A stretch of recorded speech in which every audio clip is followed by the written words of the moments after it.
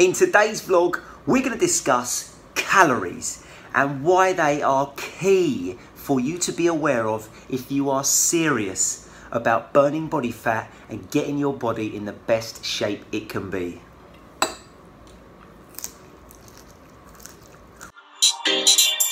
When I say fit with, you say Frank, fit with, fit with.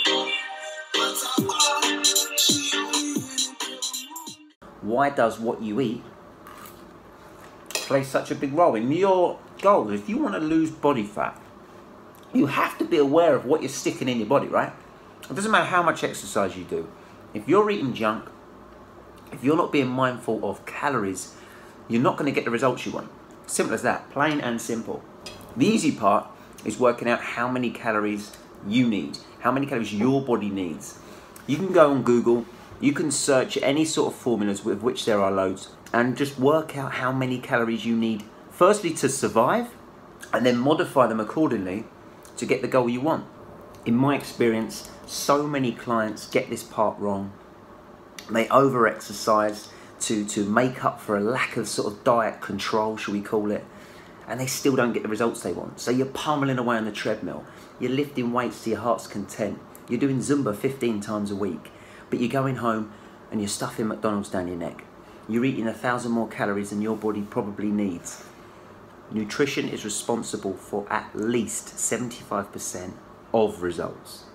So if you've got the exercise nailed, you have to think about food. And for me, calories is the place to start. We can go deep and talk about macronutrients, which are carbs, fats and proteins. We can go deep and I've done Q&As on Facebook with you guys and spoke about this in the past.